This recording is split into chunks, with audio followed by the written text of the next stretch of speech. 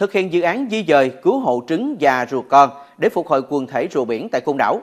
Trong 9 tháng năm 2022, Ban Quản lý vườn quốc gia Côn Đảo đã tổ chức ấp nở và thả về biển hơn 122.000 cá thể rùa con. Trong 9 tháng qua, có tổng số 2.510 tổ rùa biển được lực lượng kiểm lâm vườn quốc gia Côn Đảo cứu hộ, di dời về các hồ ấp nhân tạo.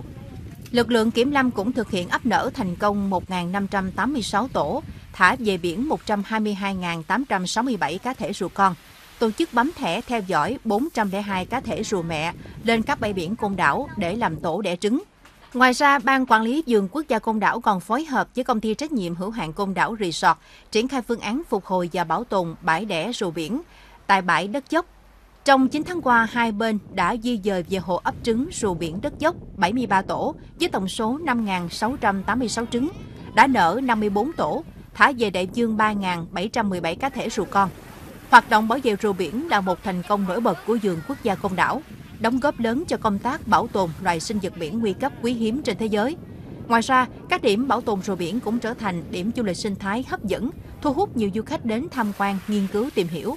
Qua đó góp phần kích cầu phát triển kinh tế địa phương.